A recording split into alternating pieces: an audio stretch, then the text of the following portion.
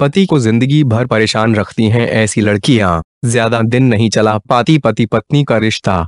औरत, कहने में तो यह एक छोटा सा शब्द है, लेकिन जब यह किसी के घर पत्नी बनकर जाती है तो वो किसी भी घर को स्वर्ग और नर्क बना सकती है।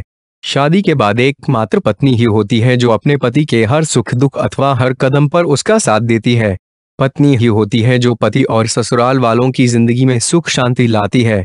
लेकिन आपको बता दें कि जीवन का सही मार्ग दिखने वाली पत्नी ही आपकी पति और आपके घर वालों यानी ससुराल वालों की ज़िंदगी बर्बाद कर सकती है।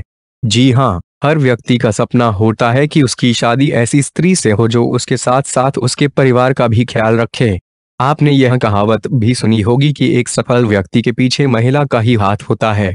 लेकिन, अगर आपकी शादी होने के बाद आपकी ज़िंदगी में कई सारी मुसीबतें आ रही हो या फिर आपको ऐसा लग रहा हो कि आपको असफलता मिल रही है तो हो सकता है कि इन सब की वजह आपका पार्टनर हो। अगर आपको लगता है कि हर पत्नी अपने पति के लिए और अपने ससुराल वालों के लिए भाग्य बढ़ाने वाली होती है तो आप बिल्कुल गलत हैं। आपको बता दें कि कुछ महिलाओं की आदतों और कामों की वजह से भी आपकी किस्मत खराब हो सकती है। जी हाँ। आज हम आपको बताने जा रहे हैं कि वो कौन सी महिलाएँ होती हैं जो अपने पति के लिए खतरनाक साबित होती हैं। तो चलिए जानते हैं। दाइश ऐसी पत्नी जो अपने पति को बिना बताए उसके पर्स, बैंक या एटीएम से पैसे निकाल ले वे दुर्भाग्य का कारण बन सकता है।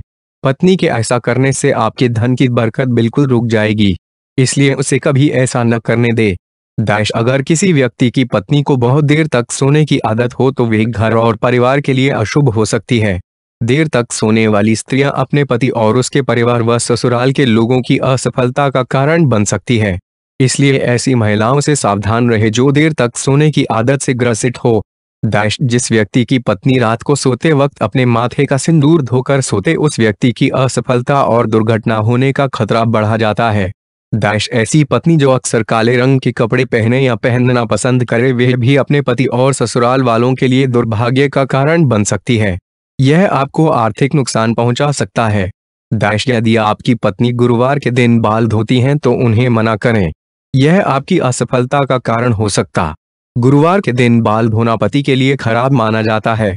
दाइश, ऐसी पत्नी जो मंगलवार, गुरुवार और शनिवार के दिन भी मांस खाए, वो अपने पति की बर्बादी का कारण बन सकती है। दाइश, अगर किसी व्यक्ति की पत्नी ज़्यादा पुराने ब्रश का इस्तेमाल करने की आदि है तो वे न सिर्फ़ अपने पति के लिए बल्कि अपने ससुराल वालों के लिए भी दुर्भाग्य का कारण बन सकती है। अगर ऐसा है तो उसे ऐसा करने से रोके और उसे नया ब्रश लाकर दें। दाइश जिस व्यक्ति की बीवी अधिक स्टाइलिश हो और बार बार पार्लर जाती हो, यह भी पति की बर्बादी का कारण बन सकता है।